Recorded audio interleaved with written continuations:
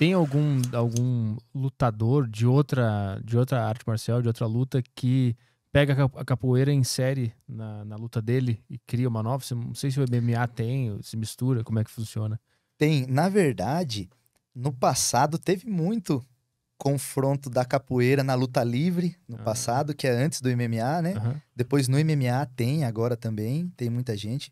Até vale ressaltar, é, no passado, um mestre que ficou muito famoso com isso foi o mestre Hulk do Rio de Janeiro, que enfrentou um cara dos Gracie, casca grossa mesmo do jiu-jitsu. E todo mundo achava, porque o ginásio estava todo lotado lá no Maracanãzinho, no, é, no ginásio, para ver o pessoal do Gracie finalizar ali. Era a final já, eles tinham feito várias lutas lá e tudo mais. E eles estavam ali para ver o pessoal do jiu-jitsu prevalecer. E foi o Mestre Hulk e finalizou e ganhou do cara dos Gracie. Cara. O pessoal que entrou no, na- no ringue queria que continuasse a luta, o árbitro tinha parado, isso, aquilo e tal. E foi um fuzuê até que depois o Messi, o Messi Hélio Grace que falou: não, o rapaz ganhou a luta, acabou e tal. E aí a galera aceitou. Tem vídeo Mas- disso, será? Cara, deve ter, deve ter no YouTube. Aí, ó. A vitória do Mestre Hulk. 95. Então ali eles usavam que a capoeira, o golpe, mas também usavam, né, o soco e tudo mais, que ali ele já não vai entrar só com a capoeira, né? Aham. Igual hoje em dia no, no, no MMA tem muitos, cap- muitos capoeiristas de, de, de nome que, que foram pro MMA e estão se dando bem lá no MMA. Esse aí era aquele, aqueles embates de luta contra luta, né? Isso, é, ali nessa época não era o MMA ainda, que era essa, esse mix de artes marciais, né? Era pra pôr a prova, né? Qual a Era por a luta aqui, prova, né? é.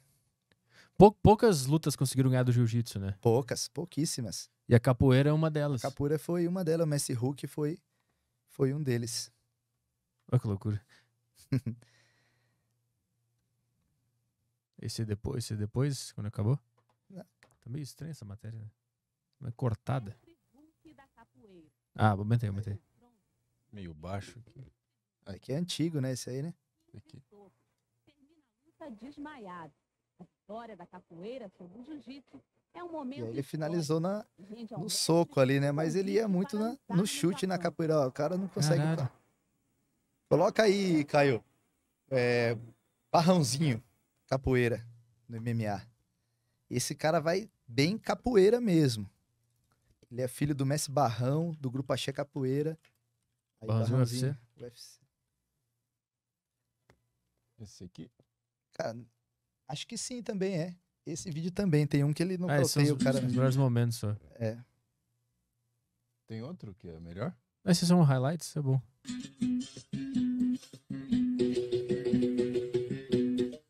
É meio Ed Gordo, Tekken 3. Cara, o, o esse, o Ed Gordo, ele é do da capoeira que a gente faz parte mesmo, né? É o Marcelo Caveirinha, se chama ele. Ah, ele existe? Ele existe, ele existe. Ele que, que gravou, colocou vários, né, aqueles, tipo, uns eletrodos assim no corpo e tal, pra, pra, foca, pra captar, Ah. pra câmera captar os movimentos dele. Aham. E ele foi e fez os movimentos dos golpes da capoeira e aí foi transformado para pro, pro boneco do jogo. Mas ele existe, assim, chama Marcelo Caveirinha. Caralho. Ele mora no, nos Estados Unidos agora. Marce-. Mestre Marcelo Caveirinha. Acho que o Ed Gordo é o personagem que as pessoas mais usavam no Sim. Tekken 3, porque era o, mais chato de todos. era o mais fácil de É. ganhar dos caras. Era só ficar girando pra trás e dando aquela. Ó, ele usa muito a capoeira mesmo. E, e essa dança aí atrap- atrapalha o, o cara que tá no Sim. combate ali? Desvia a atenção dele, ele não sabe para que lado você vai muitas vezes. Mas não gasta muito estamina também? Em- embora hoje em dia a galera, quando vai fazer uma luta mesmo assim, ele não ginga na frente do cara. Ele solta os golpes da capoeira, mas não ginga. Ó, aqui ele já. Nossa. Você viu? Ali acabou a luta, né? Aquela dança ali, se tu tiver numa, numa briga, ela não. Ela não atrapalha o teu, o teu fôlego a longo Pra uma- prazo. pra uma- é, o capoeirista ele tá acostumado a fazer aquilo ali, né? A se movimentar daquela forma, então não vai, não vai atrapalhar. Mas geralmente como uma defesa pessoal, isso aquilo, se você tá numa situação de apuro, você não vai ficar gingando na Sim. frente do cara ali, é. O cara te dá um soco ali, pode te nocautear também. A capoeira ela, ela é usada como defesa pessoal também? Também pode ser usada como uma, uma forma de defesa.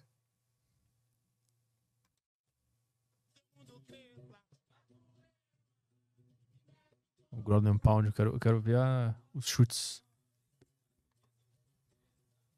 E, e esse cara é da onde? Ele mora no Canadá agora, se eu não me engano, Vancouver, no Canadá. Mas ele, ele é aqui do Brasil também. Eles são lá de Recife, né? O pai dele é mestre de capoeira, o irmão dele é mestre de capoeira. Então é uma família de, de capoeiristas ali já, né? Aquele, aquele ali É, é do Ed Luiz Gordo, lembra? É. Aquele ali é o que eu fazia com o Ed Gordo. Esses golpes, Aí, esses golpes são dos mais perigosos da capoeira. Quando um golpe desse entra no cara, é nocaute, ou você- quebra o cara, ou o cara nocauteia, no mínimo mesmo, apaga ali. E pega com o calcanhar. Pega o calcanhar, isso é. Tem, tem a luta que ele nocauteia o cara nesse golpe, só dá um, foi 15 segundos de luta. Acho que esse, será que não vai aparecer aí nesse, Caio? Procura então o nome dele nocaute do lado, deve ter, né? Barrãozinho Foi nocaute. Incrível, é. Esse de baixo aí, ó, de 52. Ah, tá aí, ó. É, esse aí.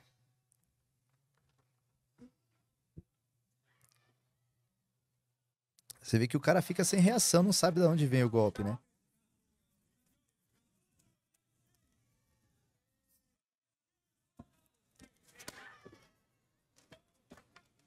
Toma. Ai, ai. Nossa. Acabou a luta. Caralho. Ó. E é, é- ele pode ficar girando ali. Sim, Se o não cara, pegar, dá- ele o vai cara dá- girando. o cara vai dá- até pegar. pode dar cinco golpes daquele seguido, se ele quiser. Ele deu dois ali, um não entrou, o segundo entrou, né? O barulho que dá. Plá!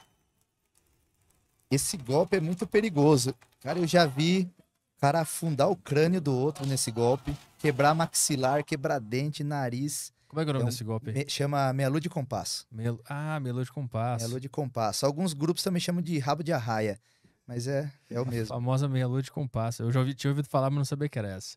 Esse golpe é perigosíssimo.